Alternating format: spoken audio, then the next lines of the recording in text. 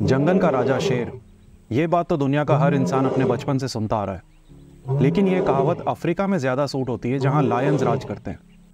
क्योंकि भारत के जंगलों का राजा तो बाघ है। जिसके आगे शेर यानी लायन भी फीका पड़ जाता है। खमागणी एंड वेलकम आज के इस वीडियो में हम इसी लेसर किंग यानी भारत के शेर और उनके छोटे से किंगडम की बात करेंगे।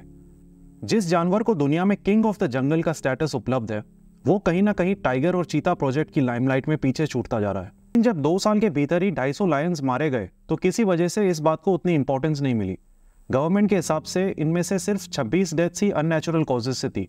मतलब उनके हिसाब से 200 लायंस नेचुरल मौत मरे थे। नेचुरल कॉजेज होते हैं जैसे इन फाइटिंग इनके आपस में लड़ने से लगाकर कैनिबलिज्म तक। लेकिन उसका भी एक्चुअली कारण ये है कि गिर में इतनी जगह नहीं है इतने सारे लायंस के लिए, इसलिए इनका आपस में इतना टकराव बढ़ रहा है। अब क्योंकि इन्हें गिर के अलावा कहीं और सेंचुरी में जाने नहीं दिया जा रहा तो ये डेथ्स कितनी नेचुरल है, ये आप खुद सोच कर देखो। ऑन पेपर इनके नेचुरल डेथ के अंडर आ जाने की वजह से इसको इतनी इंपॉर्टेंस नहीं मिल रही है। और कंसिडरिंग कि एशियाटिक लायंस अब सिर्फ़ भारत के गिर जंगलों में ही बचे हैं, और उनमें से इतने सारों का एक साथ मर जाना कोई छोटी बात नहीं है। आगे बढ़ने से पहले एक बार लायंस के बारे में थोड़े फैक्ट्स जान लेते हैं। ये कैट फैमिली के सेकेंड लार्जेस्ट जानवर हैं, क्योंकि ऑब्वियसली फ़र्स्ट पोजिशन टाइगर्स की है। इनकी दहाड़ यानी रोड आठ किलोमीटर तक भी सुनी जा सकती है। ये आवाज़ किसी बिजली के कड़कने से कम नहीं होती। कैट फैमिली में एक ही ऐसी स्पीशीज हैं जो सोशल ग्रुप्स में रहते हैं। एक जॉइंट फैमिली की तरह, जिसे ऑफिशियल शब्दों में प्राइड कहा जाता है। अफ्रीका में प्राइड्स काफ़ी बड़े होते हैं और ये नंबर 40 तक भी इजीली टच कर सकता है। एशियाटिक लायंस की प्राइड्स में नंबर्स इतने ज़्यादा नहीं होते। गिर नेशनल पार्क की प्राइड्स में करीब 14 से 18 मेंबर्स ही होते हैं।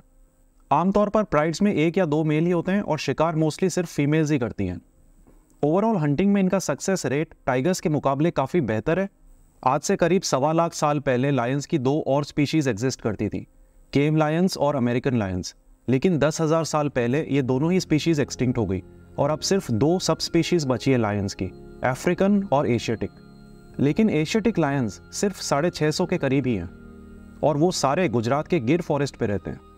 ये जानवर एक टाइम पर भारत से लगाकर मिडल ईस्ट तक फैले हुए थे और आज सिर्फ़ गुजरात के एक जंगल में बचे हैं। कंजर्वेशन एफर्ट्स ज़रूर कहीं ना कहीं बहुत अच्छे रहे हैं, इस बात पे कोई डाउट नहीं है, क्योंकि ये लायंस ना सिर्फ़ बच गए, बल्कि इनकी संख्या भी बढ़ रही है।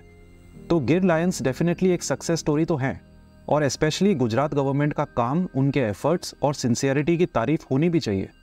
लेकिन क्या अब वक्त नहीं आ गया कि इनकी टेरिटरी को थोड़ा और बढ़ाया जाए? क्योंकि सिर्फ़ इनकी संख्या बढ़ रही है, इसका मतलब ये नहीं है कि ये एक हेल्दी ग्रोथ है। अंग्रेज़ी में keeping all the eggs in one basket वाली कहावत आपने सुनी होगी। अब अगर उस बास्केट को कुछ हुआ तो फिर सारे अंडे तो गए। अगर आप ऐसा सोच रहे हो कि ऐसा भी क्या हो जाएगा, अब तक तो कुछ नहीं हुआ। तो आपको बता दूँ कि 1994 में अफ्रीका के सेरेंगेटी में एक वायरस से करीब 75 परसेंट लायंस इन्फेक्ट हुए थे और टोटल 30 परसेंट तो मर गए थे। उस वक्त सेरेंगेटी में करीब 3000 लायंस हुआ करते थे। और उनमें से 900 के आसपास लायंस मर गए थे इस वायरस की वजह से कुछ महीनों के अंदर। तब ये एक मिस्ट्री थी, लेकिन रिसर्च के बाद इसे कैनाइन डिस्टेम्पर वायरस का नाम दिया गया। ये एक तरह की न्यूरोलॉजिकल बीमारी है और मोस्टली डॉग्स रैकून्स स्कंक्स और फॉक्सिस वगैरह में होती है। लेकिन ये उनसे शेर जैसे कार्निवोर्स में भी आसानी से फैल सकती है और इसका उदाहरण क्लियरली दिख गया था 1994 में सेरेंगेटी में। ये बीमारी फ़िज़िकल कॉन्टैक्ट से फैलती है। जैसे यूरिन ब्लड सलाइवा बाइट्स वगैरह। 2018 में इसी कैनाइन डिस्टेम्पर वायरस की वजह से करीब 30 लायंस गिर फॉरेस्ट में मारे गए थे। लेकिन इस बात पर ध्यान देना कि जहाँ सेरेंगेटी 15,000 स्क्वायर किलोमीटर्स का एरिया है वहीं Gir national park total 1500 square kilometres भी नहीं है। मतलब सेरेंगेटी के इतने बड़े एरिया में भी 30 परसेंट लायंस वायरस से मारे गए थे। तो गिर जो बहुत कंजेस्टेड सा हो गया इन जानवरों के लिए उसमें तो किस्मत से ही बच गए लायंस वरना ये नंबर 30 का 300 आराम से हो सकता था। स्पेशली कॉज यहाँ के लायंस अपने अफ्रीकन सब स्पीशीज़ के कंपैरिजन में, देसी कुत्तों के संपर्क में तो बहुत ज़्यादा आते रहते हैं। फिर इसके बाद गुजरात बायोटेक्नोलॉजी रिसर्च सेंटर ने इसके लिए वैक्सीन्स भी बनाए हैं, और यूएस से भी इसके वैक्सीन्स इम्पोर्ट किए गए थे, और ये डिज़ीज़ कंट्रोल में भी आई है। लेकिन यहाँ पर मेरा पॉइंट ये है कि ये तो चलो एक बीमारी है जिसने इतना बड़ा नुकसान नहीं किया। लेकिन इसकी तरह कुछ और भी तो चीज़ें हो सकती हैं जिनके लिए हम अभी से प्रिपेयर्ड नहीं हैं। बीमारियाँ भी कई तरह की निकल कर आती हैं हर साल। पेंडेमिक आ गए एक से एक, जिसने पूरे के पूरे देश बंद करवा दिए थे। और नेचुरल डिज़ास्टर्स जैसे भूकंप सुनामी साइक्लोन्स क्या नाम था जो भी आया था? बेपर जॉय कितना पास से निकला था गिर के। ऐसे और भी बहुत से एग्जाम्पल्स हैं जो पूरी तरह से लायन पॉपुलेशन को वाइप आउट करने की क्षमता रखते हैं, अगर ये लायंस एक ही जगह पर रहे। इसलिए इन लायंस को एक ही जंगल में रखना एक बहुत बड़ा रिस्क है। अच्छा नेचुरल डिजास्टर्स और बीमारियों से बचना तो चलो एक प्रिकॉशन हो गया। तो इनके एग्जिस्टिंग प्रॉब्लम की बात करते हैं, इनके जीन पूल की। गिर के लायंस में इन ब्रीडिंग एक बहुत बड़ी लेकिन अंडर प्रॉब्लम है, जिसके बारे में ज़्यादा बात नहीं होती। इन ब्रीडिंग मतलब जब क्लोजली रिलेटेड फैमिली मेंबर्स जैसे भाई बहन कजन्स आपस में बच्चे पैदा करने लग जाएँ। सुनने में कितना भी अजीब लगे, पर एनिमल वर्ल्ड में ये कोई नई बात नहीं है। लेकिन इन ब्रीडिंग का बहुत ज़्यादा होना बेहद ही खतरनाक है।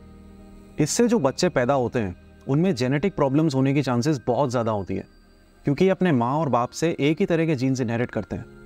इस तरह से पैदा हुए जानवर फिर फिजिकली डिफॉर्म्ड होंगे बॉडी में इम्यूनिटी एकदम कम होगी और बीमारियों से लड़ने की क्षमता नहीं होगी। तो लायंस की पॉपुलेशन तो डेफिनेटली बढ़ रही है, पर क्या वो उतने हेल्दी और ताकतवर हैं जितना उन्हें होना चाहिए था? इसका जवाब आप खुद सोच कर देखो। इसके अलावा जो हम आए दिन गुजरात की सड़कों पर शेर घूमते हुए देखते हैं, क्या लगता है उसका कारण क्या होगा? उसका एक ही कारण है कि इनकी पॉपुलेशन बढ़ रही है और गिर का जंगल छोटा पड़ रहा है। और आए दिन हम न्यूज़ में देखते भी हैं कि किस तरह गिर के आसपास के गाँवों में लायंस कभी सड़क पर घूमते दिख जाते हैं, कभी ट्रक या ट्रेन से मारे जाते हैं तो कभी बिजली के तारों से और यहाँ तक कि खुले कुएँ तक में गिर चुके हैं। जब इस तरह के हादसे सामने आते हैं, जो जंगली जानवरों के लिए नेचुरल नहीं है तो इससे एक बात तो साफ़ हो जाती है कि गिर के लायंस को एक नए घर की ज़रूरत है। और ये घर गिर से बहुत दूर होना चाहिए, अगर पहले बताई गई सारी प्रॉब्लम्स को अवॉइड करना है। अब ऐसा क्यों नहीं हो रहा है? चलिए जानते हैं इसके पीछे की राजनीति को। अफ्रीकी चीतों के आने से कई साल पहले 2013 में एक्चुअली गिर से लायंस को कूनो नेशनल पार्क में ट्रांसलोकेट करने का ओरिजिनल प्लान था। ये सिर्फ़ एक सुझाव नहीं था, बल्कि इस पर सुप्रीम कोर्ट का ऑर्डर तक निकल चुका था।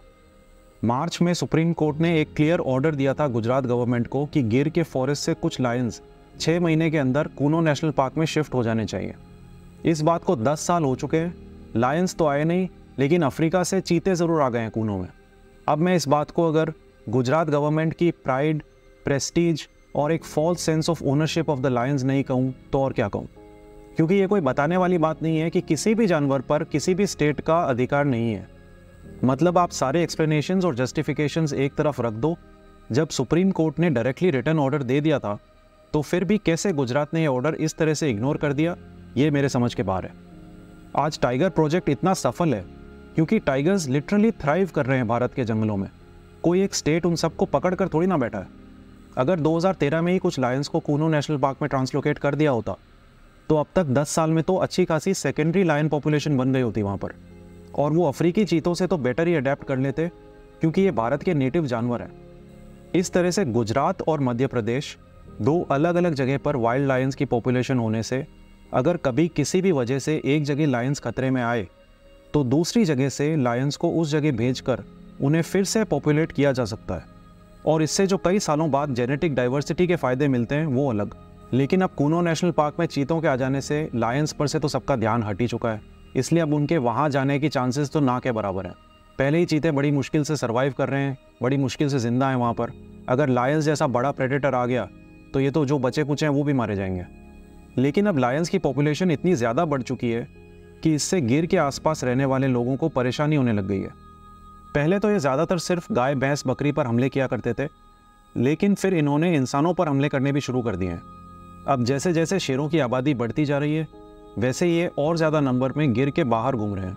इसलिए अगर कुछ शेरों को किसी और जगह नहीं भेजा गया तो ह्यूमन वाइल्ड लाइफ कॉन्फ्लिक्ट्स तो और बढ़ेंगे ही। और ये नौबत ना आए, इसलिए गुजरात सरकार ने अब करीब 40 लायंस को गिर से निकालकर बारडा वाइल्ड लाइफ सेंचुरी में ट्रांसफ़र करने का प्लान किया है। लेकिन बारडा वाइल्ड लाइफ सेंचुरी गिर से सिर्फ़ 100 किलोमीटर की दूरी पर। बेसिकली सेम ही एरिया है अगर लायंस के टेरिटरीज के परस्पेक्टिव से देखा जाए तो। मतलब ऑन पेपर तो अब ये हो गया कि लायंस को गिर से दूसरी जगह शिफ्ट कर रहे हैं। पर शिफ्ट कहाँ कर रहे हैं? बारडा में जस्ट सौ किलोमीटर दूर। गिर के इतने पास होने की वजह से यहाँ पर कोई सेकेंडरी लायन पॉपुलेशन तो नहीं बनेगी, ये बात तो मान के ही चलो। उसके लिए तो इन्हें किसी दूसरे स्टेट के जंगल में ही भेजना होगा। तो चंद लायंस को बारडा में ट्रांसलोकेट करना कोई ऑल्टरनेटिव सोल्यूशन नहीं है। फिर आखिर इसका सॉल्यूशन है क्या? सॉल्यूशन सिर्फ़ एक ही है, जो मैं ऑलरेडी कई बार बोल चुका हूँ। इन्हें दूसरे स्टेट्स के हैबिटेबल जंगलों में ट्रांसलोकेट किया जाए जहाँ भी पॉसिबल है। आशा करता हूँ कि बहुत देर हो जाए उसके पहले गवर्नमेंट इस इशू पर भी ध्यान दे और लायंस की एक सेकेंडरी पॉपुलेशन बनाने पर भी काम करे। वीडियो देखने के लिए आपका धन्यवाद। अगर पसंद आया हो तो इसे शेयर ज़रूर करना। जय हिंद, जय भारत।